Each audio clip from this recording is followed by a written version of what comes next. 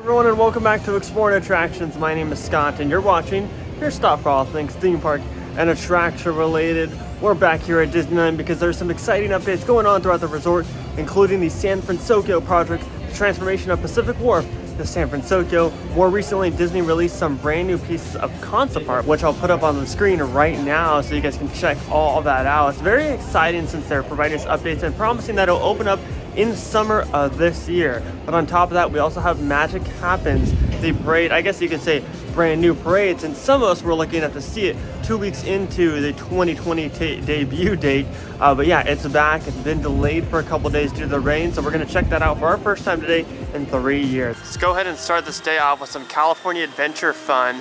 While I have you guys here, please subscribe down below with those bell notifications on at the time of this recording, we are 26 subscribers away from 10,000, so please help us reach that goal and leave this video a like at the end if you enjoyed it. Clear skies today from what it looks like, so hopefully there's no delay in magic happens today, but yeah, it's looking like clear skies compared to the past couple days and past couple weeks that we've seen here in Southern California with all the rain and whatnot. Quick look down the Hollywood land at the progress of them repainting this facade right here. It looks a little bit more vibrant, but no noticeable progress as this goes on. Obviously all the covering is up right now, as it has been for the past couple weeks. If we walk a little bit further down, there's something even more exciting I want to talk about, which of course is the return of the Hyperion Theater, or more importantly, the debut of a brand new show because Disney just recently teased that there's something exciting coming in the summer for a limited time run. And lots of people are speculating that that's Rogers the Musical, just judging based on the little sneak peek video that they put out Looks like that's what's going to be placed here in the Hyperion Theater. I cannot wait to see it and I cannot wait to finally step foot into this theater once again because honestly, I think this is one of the best theaters at any theme park, just the way it's laid out, how nice it is in there. I do miss Frozen a whole lot. More importantly, I miss Aladdin a whole lot, but it will be nice to have a show finally back here in this theater in California Adventure. And of course, it adds a brand new entertainment offering as well. Made it into the Pacific Wharf section of the park. And if you guys are familiar with that concept art that I talked about earlier in the video, this beer truck right here will be no more, or at least it won't be no more in this location. You know, they may move it somewhere else, but actually this corner right here, right over here, is where that Baymax meet and greet's gonna be at. So and no more beer truck, at least like I said, for this location. But if we walk further in over here, you can see there are construction walls for the bridge that will have that brand new structure that will lead you into San Fransokyo. I can see construction workers already working on it. Oh yeah, looks like they've repainted the entire bridge already, or at least half of the bridge, that red color, or was a blue color. I wonder if the earthquake features are gonna be there. And you can see those pillars have now been removed, all the wood around them has been removed. So you can see the start of the pillars that will hold that tall structure on top of this bridge, the entrance of San Fransokyo Square. This is awesome looking at this. And, and yeah, San Fransokyo Square will be the official name of this brand new mini land here, converting from Pacific Wharf to San Fransokyo Square. There's these signs posted everywhere, all the different construction walls. This is about as far as we can go though. We cannot cross this bridge right now, so we're going to go around all the way on the other side where Cars Land is at, and then to walk across the Pixar Pier Bridge to get an even further shot and a more wide angle shots. Let's go check that out. Actually, you kind of get a neat shot if you walk into this photo op with all the fish, of course, at the other side of it. Actually, the other side that we are just on looks a little bit more complete than this side. Of course, the rest of the area is drained right now. No ducks. The ducks don't have a home temporarily. All the ducks used to hang out around here. I'm sure they're on the other side of this near where they have World of Color at, but obviously the rest of Pacific Wharf will start construction soon, but it seems like the main focus is getting that brand new bridge up. But yeah, they are definitely going to be changing the rest of these buildings just to fit the theme of San Fransokyo, and of course all centered around Big Hero 6. We're now on the other side of the bridge, we're just right down there to the right in Pacific Wharf. Now we're over here standing on the entrance to Pixar Pier, and one thing that I notice is you can start to see on the very far right hand side, start to see some of the uh, taller portions of the bridge start to erect a little bit. I wonder how tall this is going to be because from the concept art it looks pretty tall. It'll be exciting to see. The sightlines will be great. I know, we love visiting that word sightlines. And then over to the left, looks like they're working on getting the sign ready to go. The Pacific Wharf sign is obviously uh, taken off, and soon they'll have the San Fransokyo Square sign going up. But and they're moving very fast on all the progress to open up in summertime. We don't know what month. We just know it'll be done by summertime.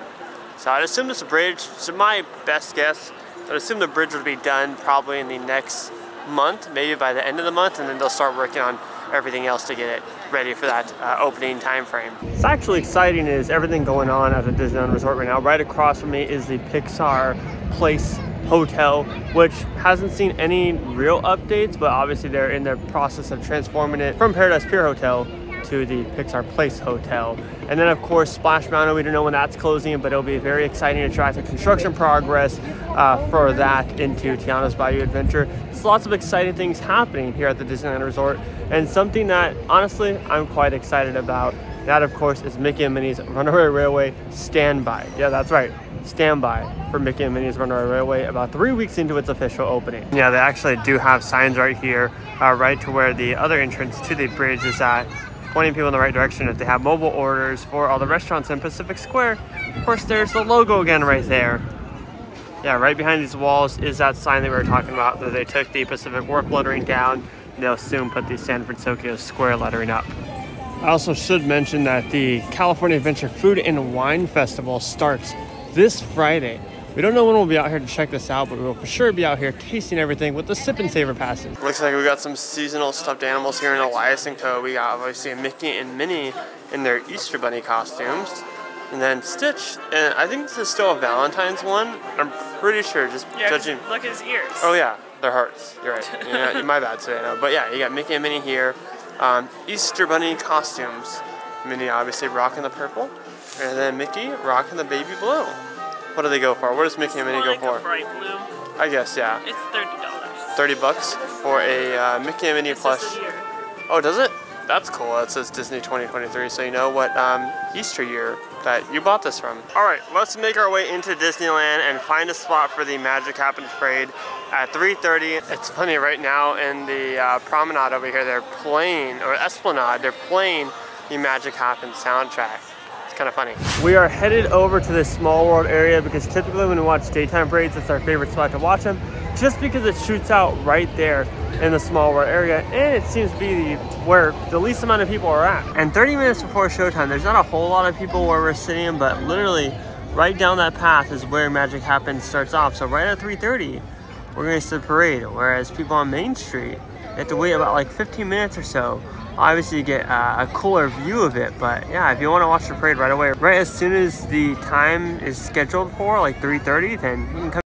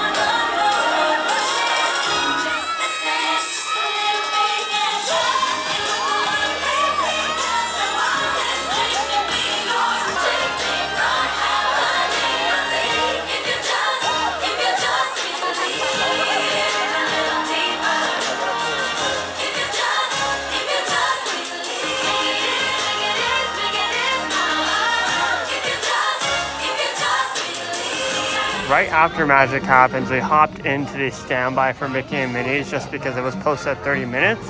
Probably the best time to hop in to the line if you're trying to ride it during standby, just right after Magic happens. And it's posted at 30 minutes. We've been in line for about 10 minutes, and we're actually in the extended queue, but it leads right into the last uh, couple rooms until we get into the pre-show. I mean, yeah, the uh, stroller parking right now is completely filled, whereas when they were doing virtual queues, there is uh, like barely any strollers over here, so you can definitely tell that they're running standby for sure. And no Roger Rabbit's Cartoon Spin is still not open.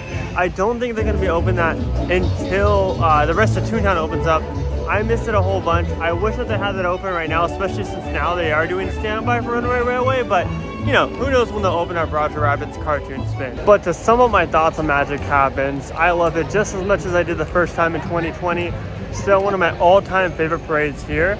Um, Magic Happens is just great. The music playing, the performers are wonderful, eh, the floats are amazing. I highly recommend you check out Magic Happens because, like last time, you don't know when it'll be your last time that you watch that parade. But in all seriousness, I think we'll have it for the entire summer. Um, it's just a fantastic parade and it's even better at night. Now if you want like a full um, video showing the Magic Happens parade, I'll have that up on my channel either after this video or before this one. We also have one from 2020 at night, which I'll leave linked down below in the description. Over here in New Orleans Square, because there's some new construction walls up for Tiana's Place, which was originally French Market, which we recorded last time we were here at Disneyland. It was the uh, last day of French Market. Let's go over there and check out the progress for transforming that into Tiana's Place. And yep, looks like construction has already started for the transformation to Tiana's Place. The sign is already down uh, for French Market. They have a piece of the concept art right up there. What it's supposed to look like.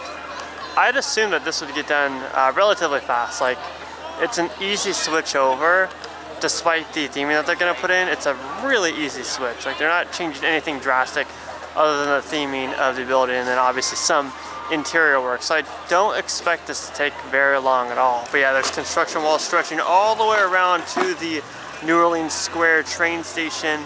And then obviously there's signage pointing people to where the uh, train station's at and restrooms, of course. There's more of the construction right above these construction walls. It'll be real exciting when we finally see the uh, Tiana's Place sign right up above the building, which I would expect would be put on very, very soon, considering the fact of how fast they're already moving since it's closed just nearly a week ago. We're gonna end the day with a little bit of Splash Mountain fun since it's only a 15 minute wait, which I think will be a little bit shorter. So let's go ride some Splash Mountain.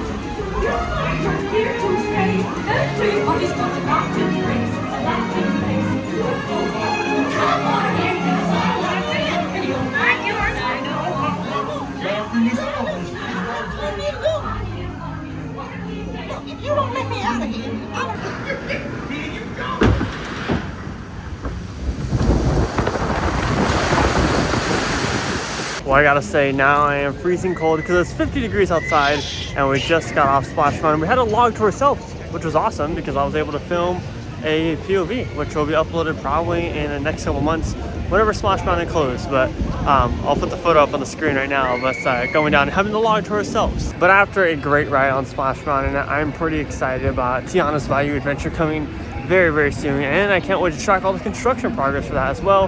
Hope you guys enjoyed this video. We enjoyed filming all these updates, doing a, a weekly Disneyland update as usual. Um, for this week, I think we have planned a couple videos coming out. Uh, updates and whatnot and then we may actually drive down to see because it's been a while since we filmed a vlog there so that'll be a whole lot of fun too if you're new here subscribe with those bell notifications on hope you guys are enjoying all the content from my new subscribers hello my name is Scott from Exploring Attractions uh, thanks for checking everything out, especially with the two Vegas videos that we filmed. They were pretty successful, so thank you all for that. Leave this video a like. My name is Scott. You've been watching Exploring Attractions, Positivity Ski, and most importantly, remember to keep exploring. Peace out, everybody.